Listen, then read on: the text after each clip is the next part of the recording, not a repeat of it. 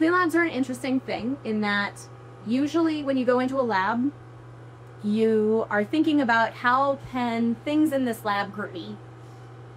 In a clean lab, it's very much how am I hurting the lab? Yeah, fair enough. Yeah. And so our goal here in getting completely suited up is basically to prevent ourselves from contaminating anything that's in that lab. Sounds good. Uh, so I'm Sophia Wensman. I am a researcher here at the Desert Research Institute in the ice core and trace metal chemistry lab.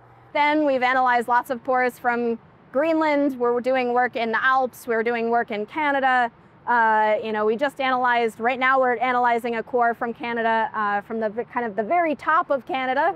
Um, and previously we've done work as close to home as South Cascade Glacier in Washington.